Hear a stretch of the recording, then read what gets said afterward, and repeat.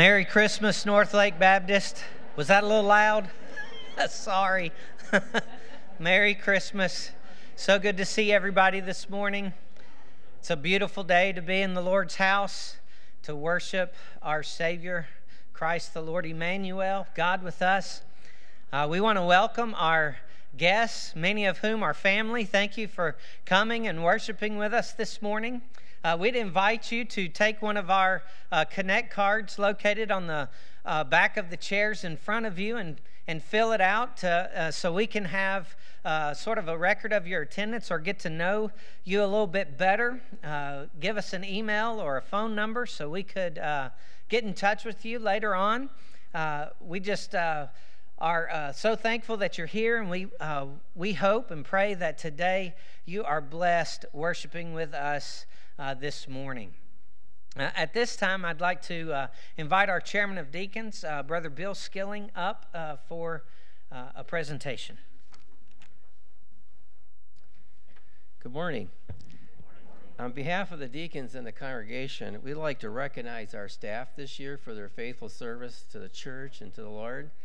Uh, and the first one I'd like to recognize is Pastor Chuck Nation. I really appreciate him as, in his interim role and what he's been doing for our church. He's been a real blessing to us. Pastor Chuck.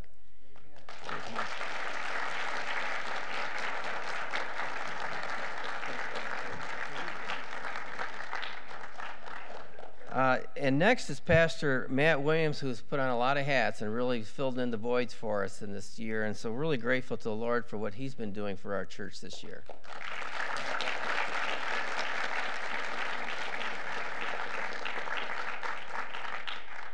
And of course, Pastor uh, Derek Moore, he also does a lot with not only our music program, but our audio vi- uh, video, and, and also doing a wonderful job on Wednesday nights. Uh, so we, we're very grateful for him as well.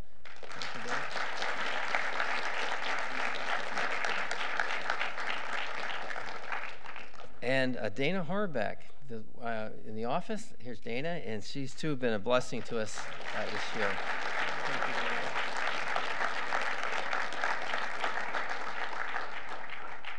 And uh, Brett Ernest, I don't know if he's right in here, if he's out, out in the hallway, but Brett has taken over uh, for maintenance director. Is he in the congregation? Uh, he's here, but all right, well, I'll get this to Brett. And then Lisa Delgado, our pianist. We're so grateful for her and her family.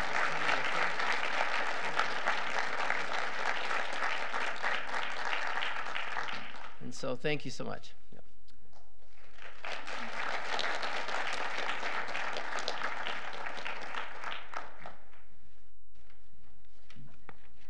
Well, church, as far as announcements go this morning, uh, just wanted to remind you that there'll be no services uh, this Wednesday night. Uh, enjoy time with your family, so no services this Wednesday night. Uh, open up your bulletins, and uh, I'd like to point out we're, we're right on the cusp of reaching our Lottie Moon Christmas offering goal of 20,000.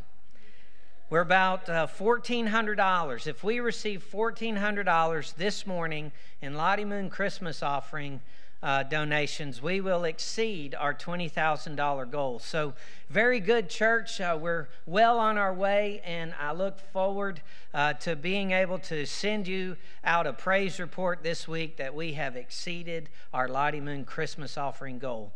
And uh, with that, we have a video uh, to show you of uh, one of our International Mission Board missionaries and former staff of Northlake, Aaron Kuglin, who serves in the Congo Basin area. So let's see that video.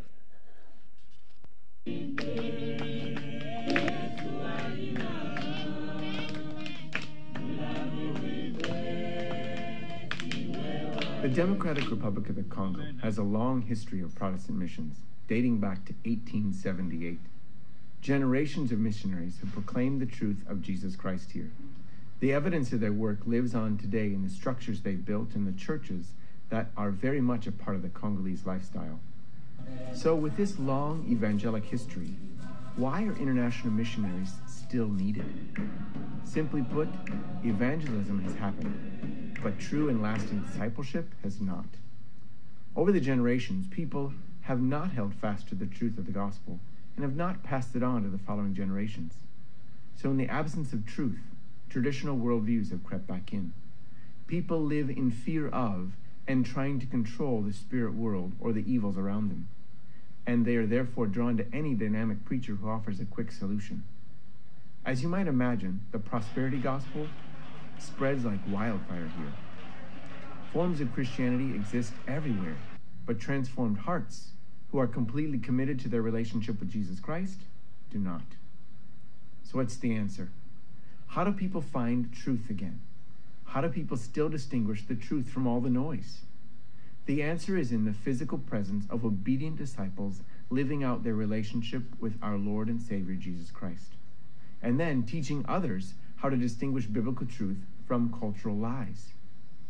The IMB seeks to fulfill the command of Jesus to, yes, go to the ends of the earth, but while there, make disciples, baptize, and teach obedience. This is what you provide through your giving to the Lottie Moon Christmas offering. Your collective giving supports a host of more than 5,000 sent out ones who are the lights in the darkness, the physical presence of Jesus in a confused world. Your giving allows me, Aaron Kuglin, and my family to live in Kinshasa, the capital city of the DRC. Your generosity provides us with a vehicle, a home to live in, schooling for my children, and the opportunity to live around people every day who are desperate for a strong gospel proclaiming witness. We are one of three missionary families our mission is placed here. Together, we partner with other like minded organizations to be the physical presence of Jesus, to re evangelize this country of more than 100 million people. By God's grace, we are seeing some of the fruit of that labor. God has raised up a team of 10 to 14 Congolese nationals who meet with me every week and have become my partners in ministry. Together, we have been going out and share stories of what God has taught us in more than 75 churches and touched more than 20,500 Congolese over this past year alone. This is what your giving has produced. Unfortunately, with the great amount of confusion surrounding Christianity here, one encounter doesn't often produce lasting change. It's only through repeated, intentional teaching that someone like Pierre would leave a cultic church that proclaims an African man to be their savior to serving the one true God through relationship with Jesus Christ. Continual faithful witness is why our presence is so vital here. This is why we thank you for your giving that allows us the privilege of serving our Savior here in the DRC. Let me leave you with this fivefold challenge. Please pray for us and all of your sent out ones. We are regular people who need to be renewed by God's word daily if we're to have a transforming impact on others. Also, pray for how God would have you partner with us. Then, after you've prayed, secondly, give. Give generously to the Lottie Moon Christmas offering, as the Lord has blessed you and has prompted you. Then, third, go. When your church has a mission, local or international, go and see what God is doing in other parts of the world and be inspired to practice your faith. Fourth, equip. Equip yourselves and others around you with the truth of God's word and be ready when the Spirit calls on you to put it into practice. And finally, send. Please send us more missionaries. The harvest is plentiful, but the laborers are few. God bless you as you pursue Him this Christmas.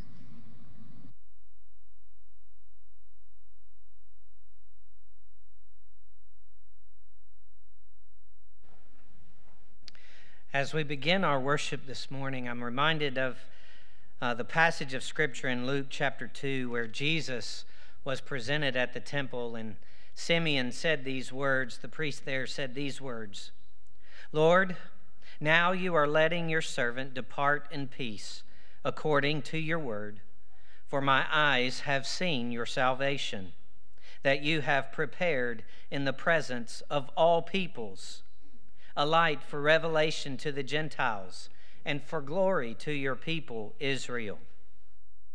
And his father and his mother marveled at what was said about Jesus. Church, will you join me as I pray?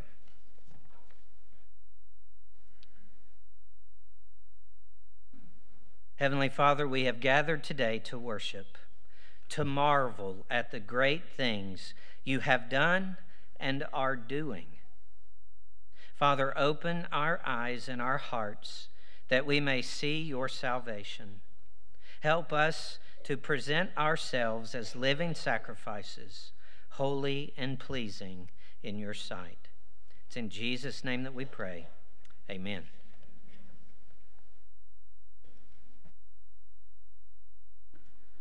Well, good morning.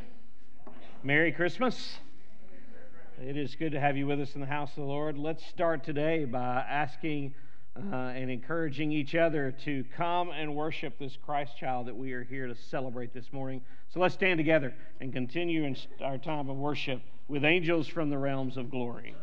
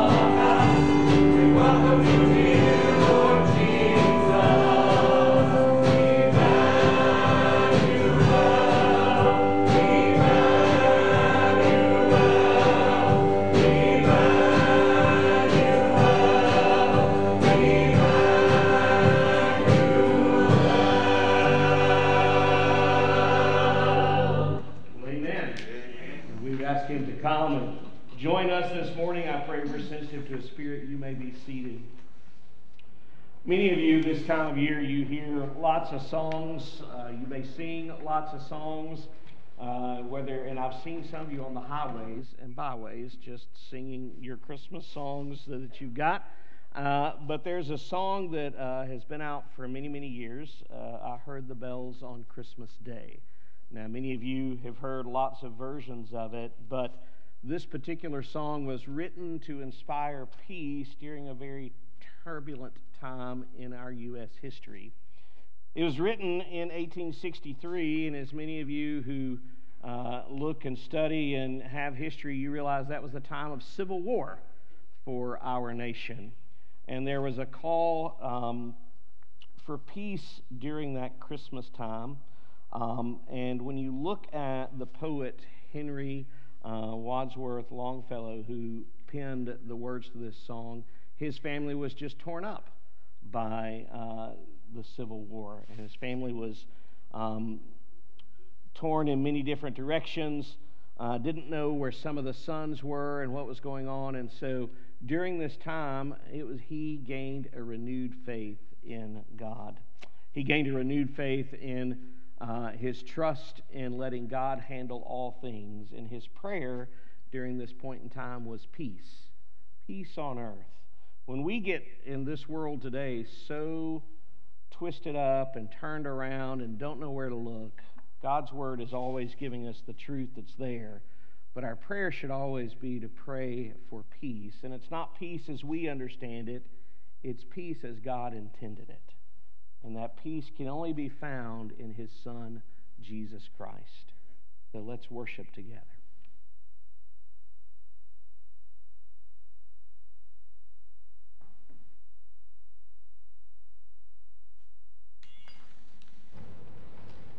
Thank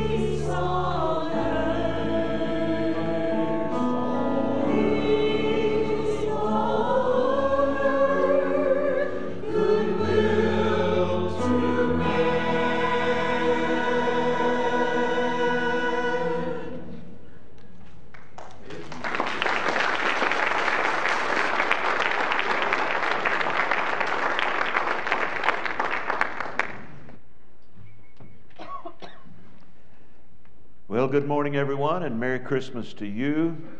From Susan and I, I'm so glad we get to celebrate Christmas with you here at Northlake. And I decided a long time ago that I was not going to be a Scrooge about Christmas. So I love this time of year. I love all of the ugly sweaters and ugly ties and all the rest of it, but especially the time to get together as the people of God and worship our Lord. And that's the title of my message this morning. We have come to worship the Lord. I'll mention to you that at uh, the end, towards the end of the service, we will have communion together here on Christmas Eve, and I hope you'll um, be uh, uh, able to stay. It's not after the service; it's part of it, but towards the end, I'll give you more instruction about that later.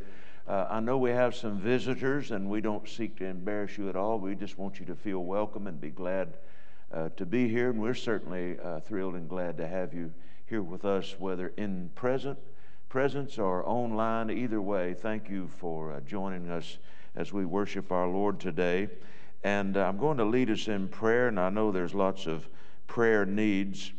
And um, uh, I just, uh, I just wonder, just by show of hands, how many folks have a particular, I'm not going to ask you to call it out, but just let me see. Uh, how many folks have a particular prayer request or burden on your heart? Just raise your hand. Let me see. Look at that. See, that's why we should pray. Even if we didn't have those requests, we pray.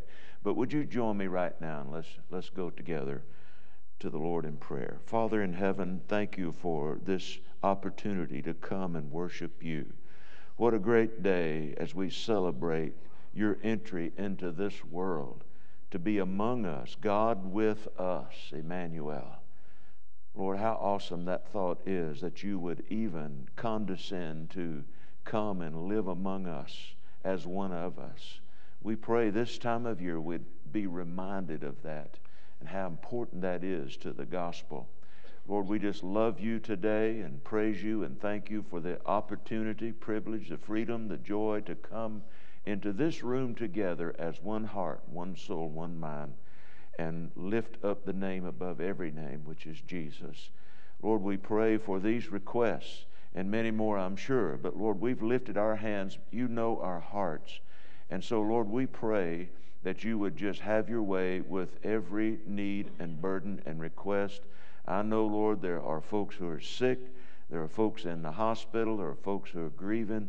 There are folks who would love to be here with us today that cannot be. But we just pray, Lord, that you would meet every need according to your will and for your glory. We trust that you will.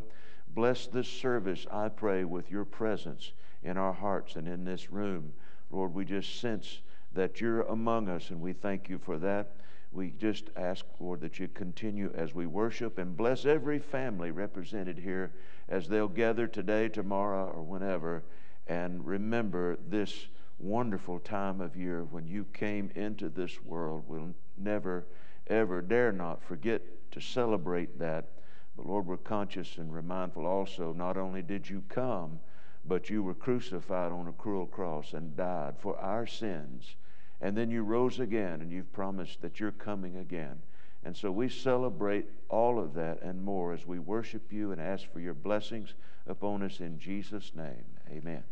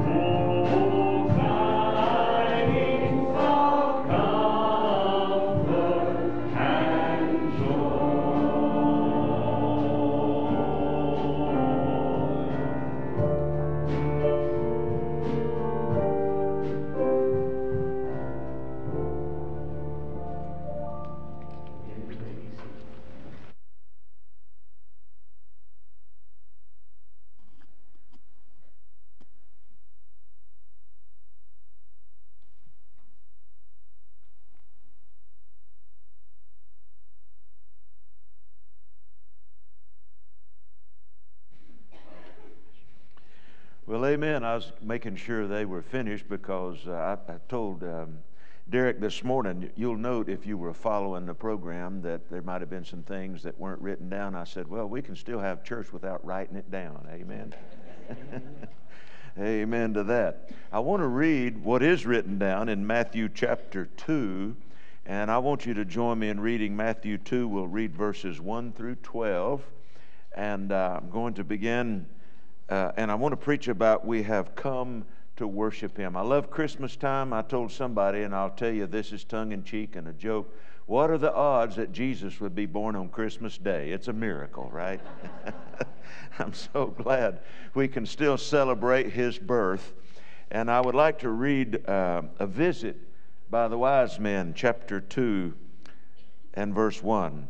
Now, after Jesus was born in Bethlehem, of Judea in the days of Herod the king. Behold, wise men from the east came to Jerusalem, saying, Where is he who has been born King of the Jews? For we saw his star when it rose, and we have come to worship him.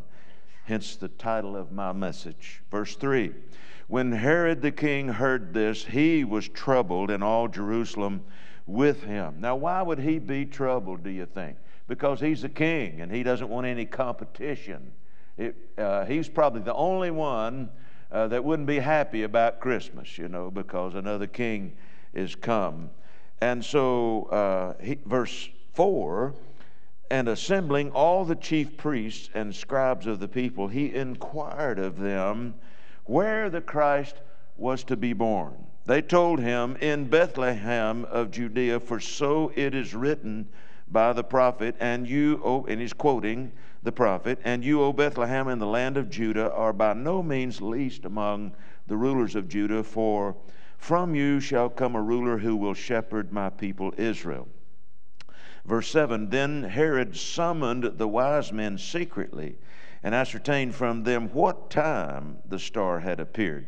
And he went, Uh, or he sent them to Bethlehem, saying, Go and search diligently for the child, and when you have found him, bring me word that I too may come and worship him. So, politician's lying is nothing new, right? He, wasn't, he did not want to worship Jesus, he wanted to eliminate him. And so, verse 9, after listening to the king, they, they went on their way. I love that. And behold, the star that they had seen when it rose went before them until it came to rest over the place where the child was. When they saw the star, they rejoiced exceedingly with great joy. And going into the house, they saw the child with Mary his mother, and they fell down and worshiped him, not her. Pronouns still are important. They worship him, not her. Then, opening their treasures, they offered him gifts gold and frankincense and myrrh, and being warned in a dream not to return to Herod, they departed to their own country by another way. Now, in our Wednesday night uh, adult Bible study, I substituted for Derek this past Wednesday, and we took a, did among other things we took a Christmas quiz and uh, 13 questions to see uh, your Christmas IQ. And one of those questions was how many wise men were there? Most people would say three because we three kings of Orient are, you know, because of that and because of, uh, if you see a nativity scene, uh, they have usually three kings, and each one of them has one of the three gifts offered gold, frankincense, and myrrh, which is probably where we got the idea that there were three. Now, these wise men, they're called in the Bible magi, not magicians, but uh, these wise men were astronomers and scientists from Persia who interpreted dreams and they acted as priests. The Bible does not say there were only three. If there were only three that made that journey, they were not wise men because travel was dangerous. And anybody that traveled any length of, of or distance, they traveled usually in large numbers in desert caravans. So this would have been more than three uh, kings. No telling how many there were. We don't know. The Bible doesn't say there were only three, but they had come, and they were not kings. They also were not there at the birth. And we'll talk when you see, you know, the depiction of the manger scene or the, the nativity scene, as we call it. They're in there, and I get the symbolism of it, but they weren't there on the night Jesus was born. He's already in a house somewhere now but uh, they did hold ruling positions, these wise men. They were impressive and important enough that they were able to gain an audience with Herod the king. And not everybody just marched in and knocked on his door and came in and sat and chatted about another king. But they had not come to see Herod, they had come to see King Jesus. And while we think of these men as part of the Christmas story, they weren't actually there on that very first birth or Christmas, that new uh, born child, but and they didn't arrive on the scene till later, at least a year or more later. However, there are some things that are important because they are part of the story of the birth of Jesus, and they had come to worship him, which, if we don't do that at Christmas time, we've missed the whole point and purpose of this time of year. We've come to worship him. So let me abbreviate just a little bit and just share with you some thoughts. And if you have one of those green handout bulletins, there are some blanks back there. Don't worry about filling them all in. You can, if you miss them, you can listen later. Amen. It's online on YouTube and and Facebook and all the rest. But let's talk about those wise men for just a moment, see if there's anything that might help us today as we're here in the Christmas season. First of all, wise men seek Jesus Christ. Now, some people who are called wise seek a lot of other things, be it accolades or credentials or wealth or fame or fortune or whatever, but wise men seek Jesus Christ. That's what they came doing. Where is he who's been born King of the Jews? Now, I want you to think about what in, was involved in their search as we also seek Jesus Christ. Consider the enormous expense and the effort expended by these wise men who were seeking for Jesus Christ. They had come a long way, and it was an arduous journey, and they had brought some uh, expensive gifts just so they could worship Him and give Him gifts traveling for months, no doubt, over treacherous terrain with great risk at their own expense. They were determined to look for Jesus till they found him. That's very important. They would not settle for anything less. You know, it's interesting as uh, we talk about seeking the Lord. It says of King Uzziah, who was very influential in Isaiah's life, who wrote the book of Isaiah. And so Second Chronicles 26 5 says about King Uzziah, uh, quote, as long as he sought the Lord, God made him prosper. Do you know most of the time you'll find what you're looking for if you seek for it hard enough? But listen to this Psalm 105, verse 4 Seek the Lord and his strength, seek his face evermore. Now, there's some different kinds of seeking. I've pointed them out. One is the Bible says to seek him diligently. That's what it says in Hebrews 11, verse 6. He, God, is a rewarder of them who seek him diligently. It doesn't say who seek him casually. It doesn't say seek him occasionally. It says seek him diligently. Like you were looking for a lost treasure. And they, we seek him. We work at it. We want to know him. We want to find him. Thus were these wise men. Not only seek him diligently, but seek him with all your heart. And that fits right in. Not occasionally, not casually, but with all your heart. Jeremiah 29 13. Listen, you shall seek me and find me when you shall search for me with all your heart. Don't think that you can just sort of casually just pass by hoping something jumps on you or, or gets on you. You seek with all your heart the Lord when we come to worship Him. He wants us that you shall love the Lord your God with all your heart, with all your soul, with all your mind, with all your strength. Jesus said that was the greatest commandment with all your heart. And then we seek him when he can be found. When he can be found.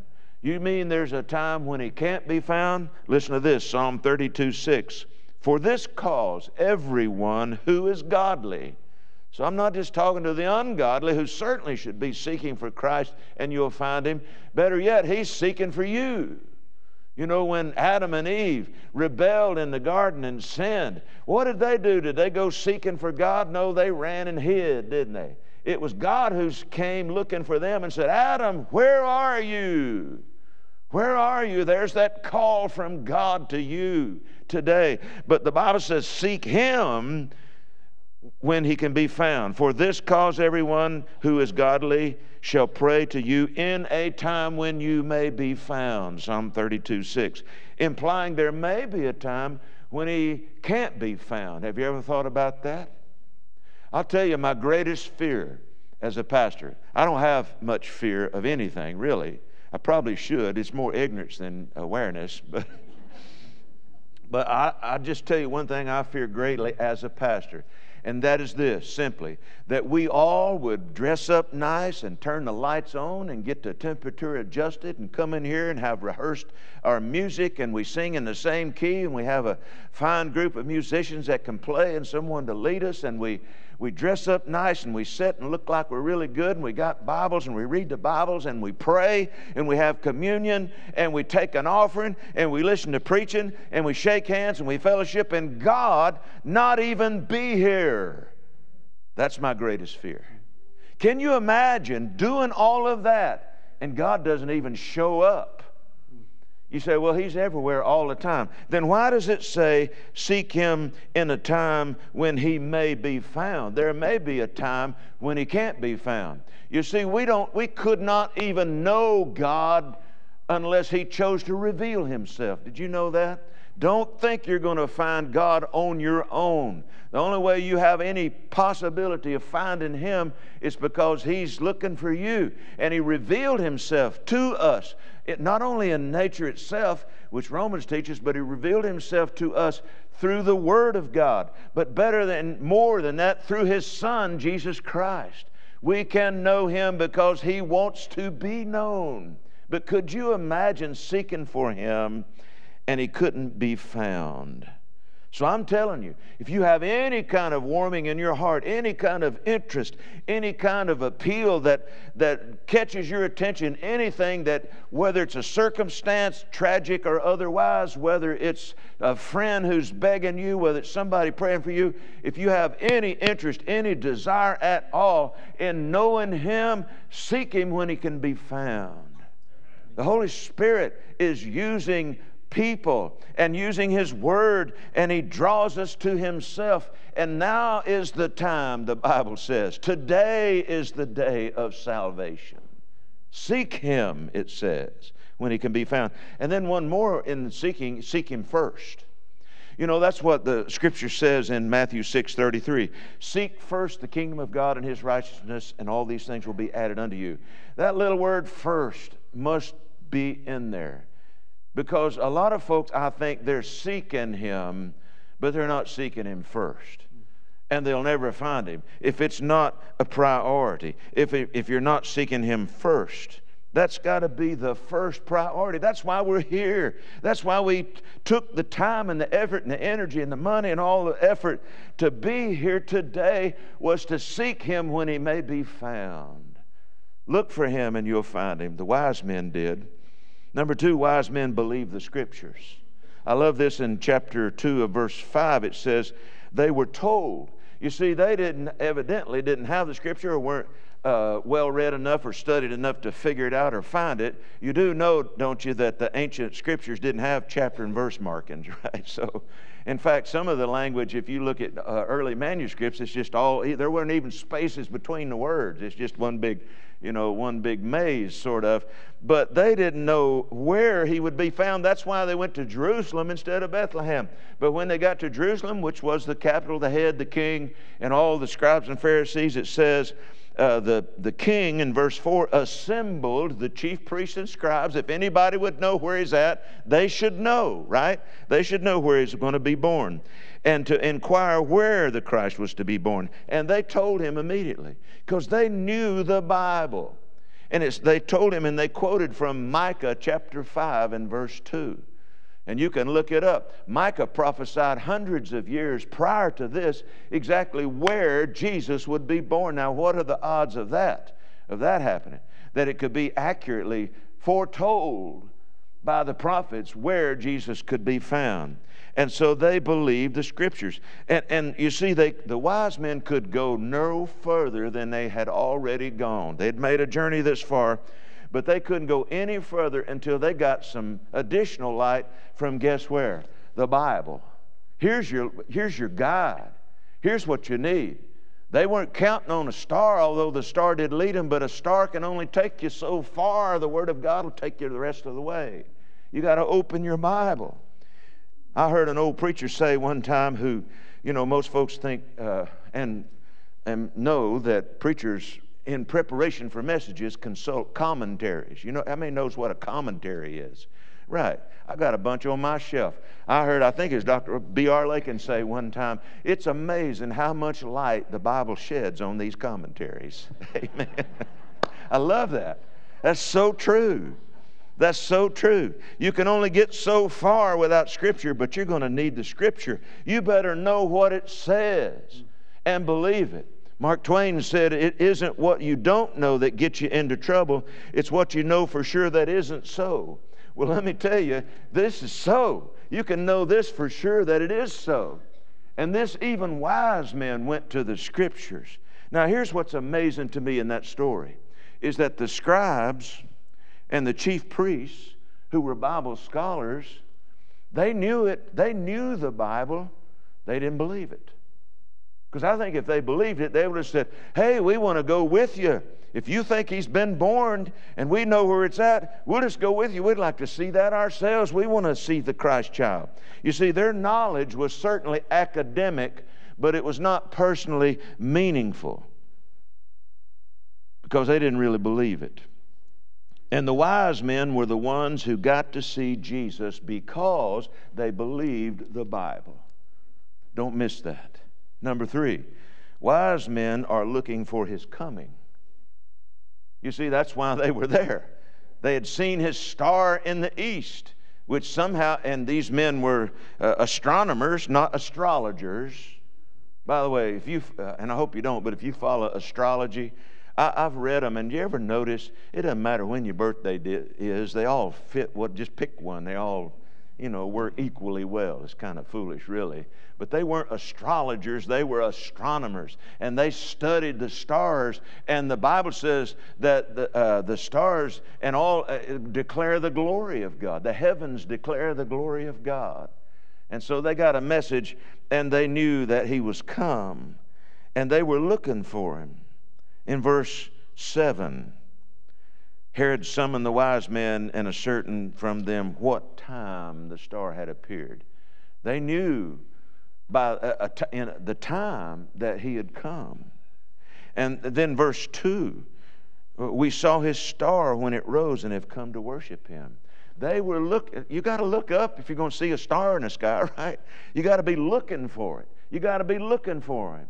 Well, we have God's promise. He said, I am coming again. And I believe the Lord is coming again. Are we, are we really expecting Jesus Christ to come even today? You say, Well, I hope He doesn't come before I open my presents. Amen. You're going to forget all about that. In fact, that won't even, I'm sorry to disappoint you, kids, but what you get for Christmas isn't even going to come up in conversation in heaven. Amen. Because we'll have the greatest gift, our Lord Jesus Christ.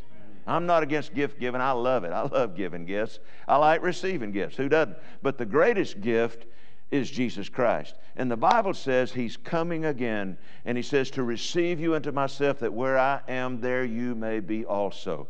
You say, Tell me all about heaven. Well, that'd take me about one breath because the Bible doesn't say, specify a whole lot of details about heaven, but it does say that Jesus will come so that where He is, we'll be there also. That sounds like heaven to me, wherever He's at. And so he's coming. Wise men are looking for that coming and ready for it. Number four, wise men are led by God.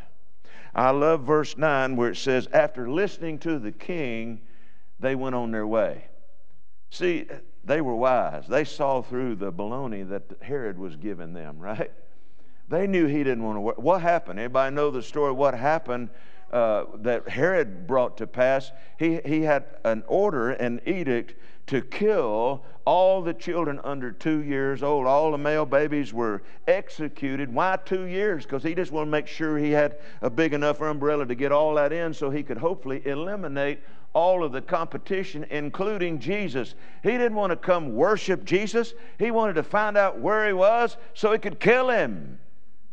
But thankfully, they were warned Joseph and Mary were warned to flee down into Egypt, and they stayed there till Herod died. And so these wise men, they were led by God, not by some pagan king. Are you listening?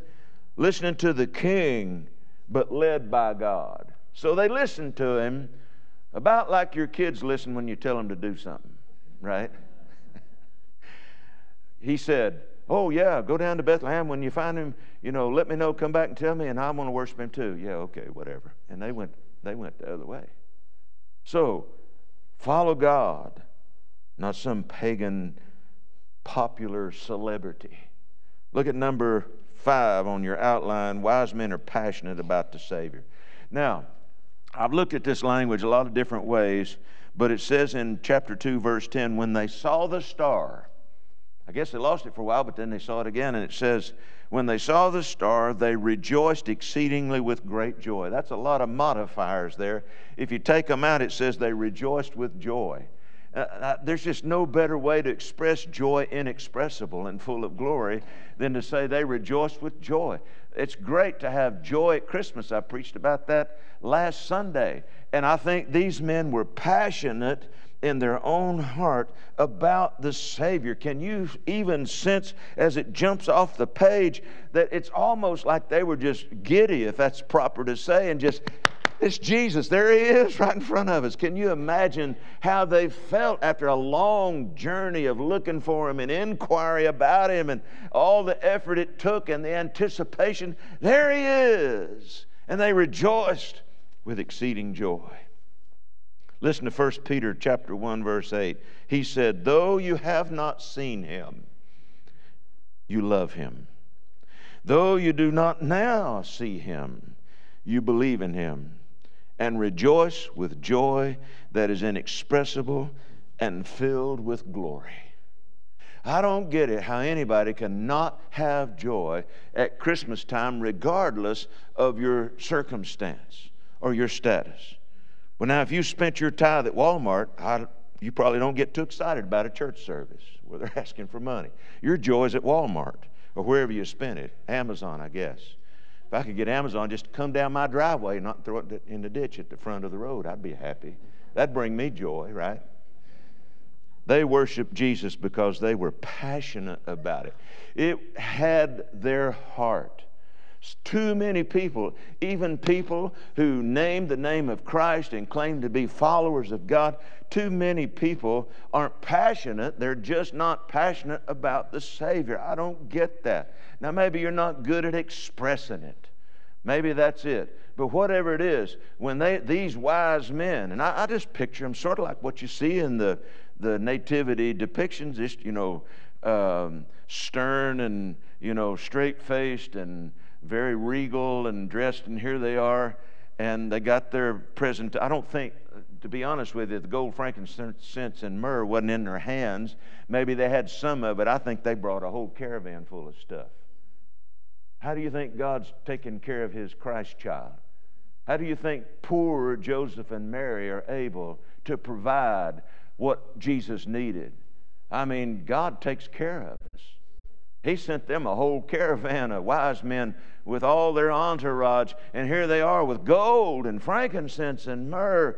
Okay, that's great, and I love all the pomp and the circumstance and all the rest, but they were just so excited and so passionate in their hearts. Can you imagine how they must have felt when they got to see him with their very eyes that was promised?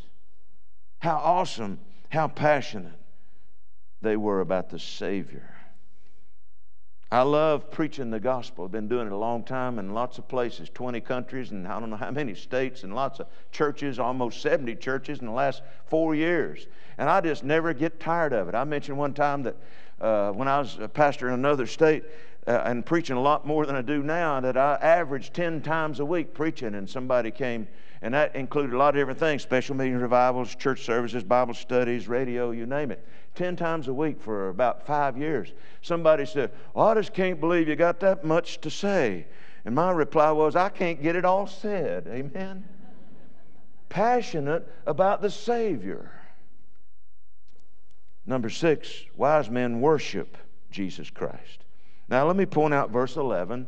I think we're all on the same page here, but just to be sure, and going into the house, they saw the child with Mary, his mother. They didn't say, and Joseph, his father. And there's another question on the Christmas quiz Who's the father of Jesus?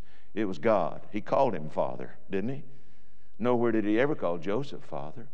Joseph, uh, Mary was betrothed to Joseph, but Mary was his mother. And the Bible says the wise men fell down and worshiped him. Now, wait a minute. They saw the child, they saw Mary, they fell down and worshiped not her, him. I told you pronouns are important. Amen. Can't mix that up. So they opened their treasures and they offered him gifts, which I'm sure was gladly received, and they worshiped Jesus. Wow. You know what? We're here this morning.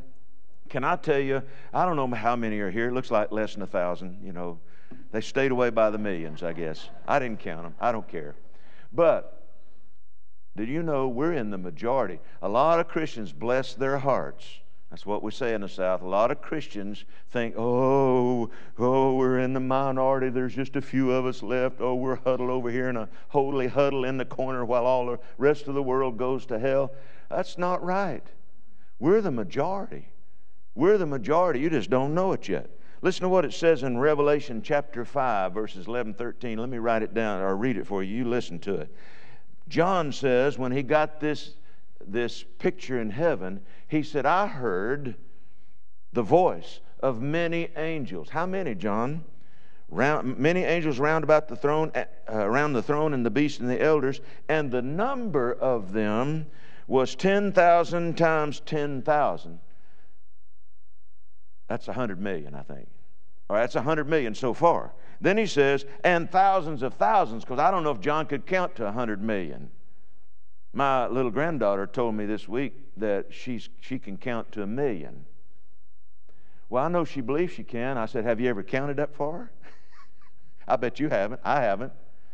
But somebody counted, and not only was there a hundred million, but then thousands and thousands. It's farther than what we can count.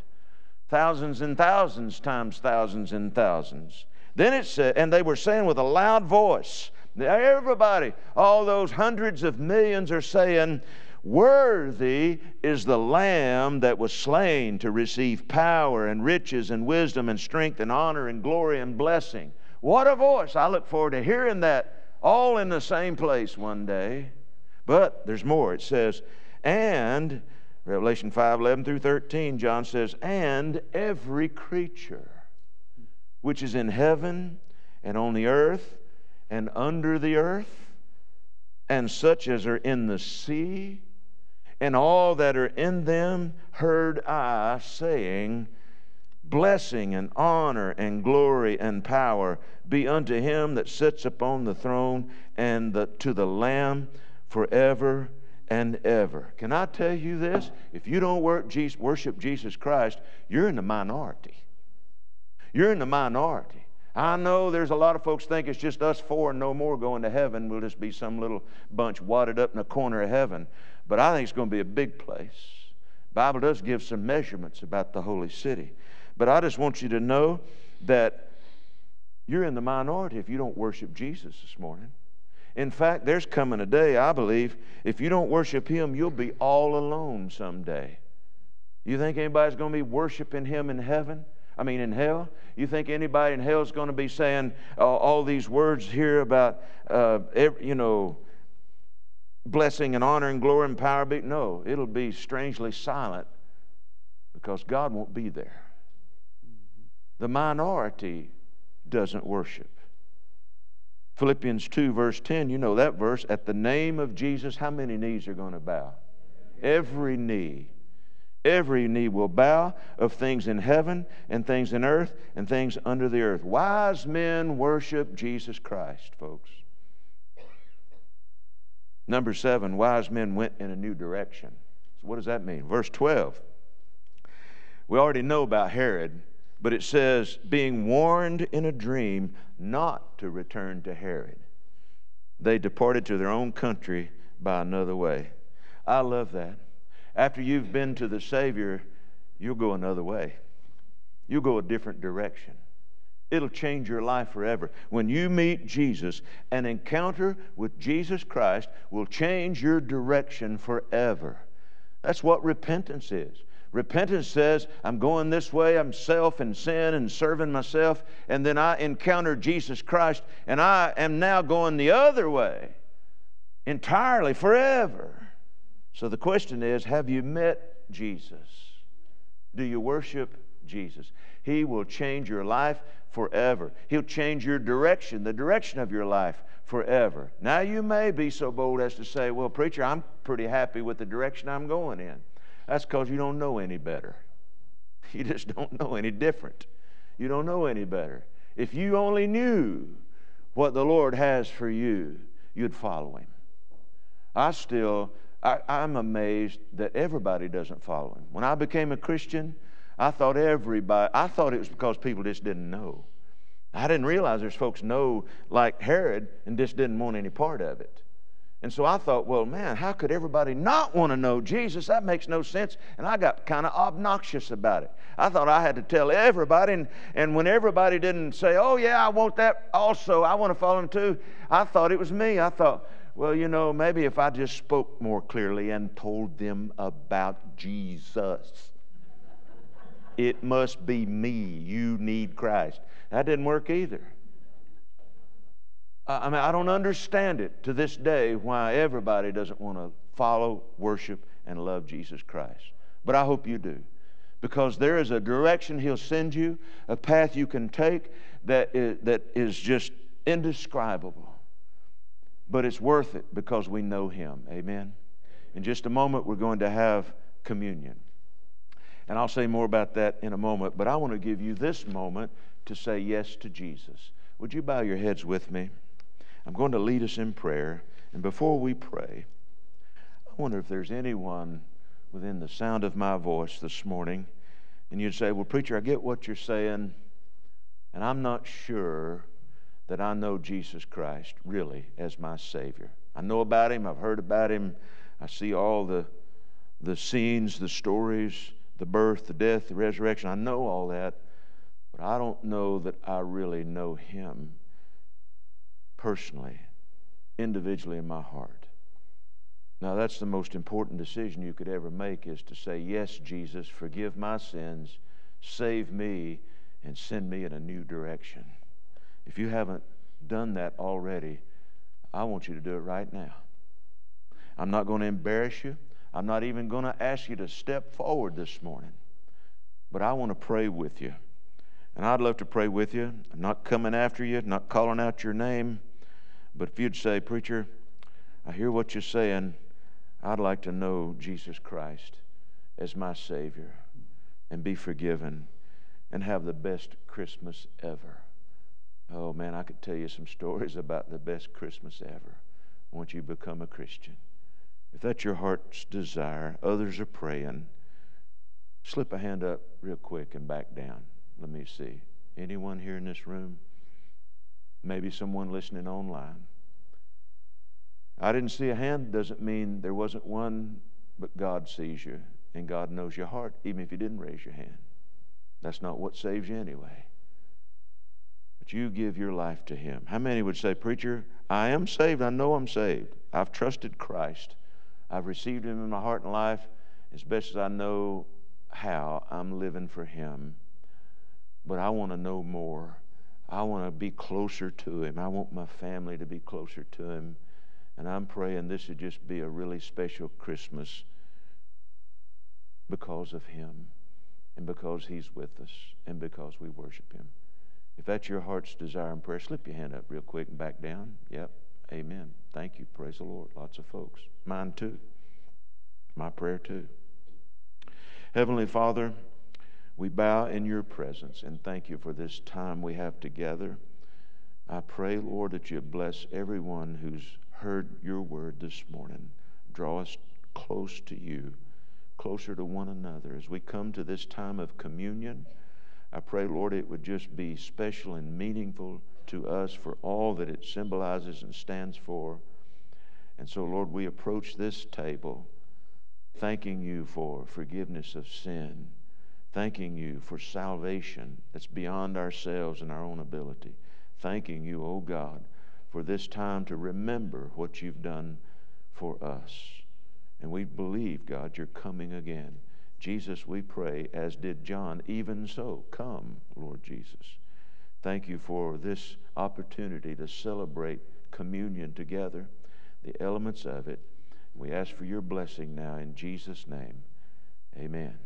Amen. I'll ask our deacons to come, and if our chairman would and a vice chairman would prepare the table, we'll receive communion.